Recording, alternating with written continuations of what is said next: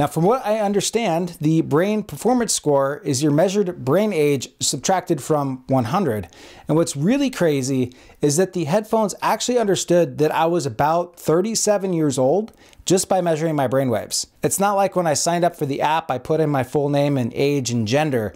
It just knew that from measurement, which is really, really wild. And then it showed me how my relative brain age would change from day to day based on how rested or active or cognitively strained I was. I interviewed one of the chief scientists at Neurable, Dr. Walter, who told me that this is actually based on machine learning analyses of test subjects working from within Neurable. They basically had the device measure their brain through their brain waves gave the AI their age. The AI is actually correlating your various brain measurements, comparing that to the data set, and then reverse engineering your brain age based on the machine learning analysis of the large data sets. And I actually did a demo on myself earlier today and it guessed my age exactly. And I've seen it a lot of times, but it still blows me away that it can do that. It um, uses interpreted EEG data and based off of what it's seen before, what brain patterns look like based on people's age, it will infer what your age is.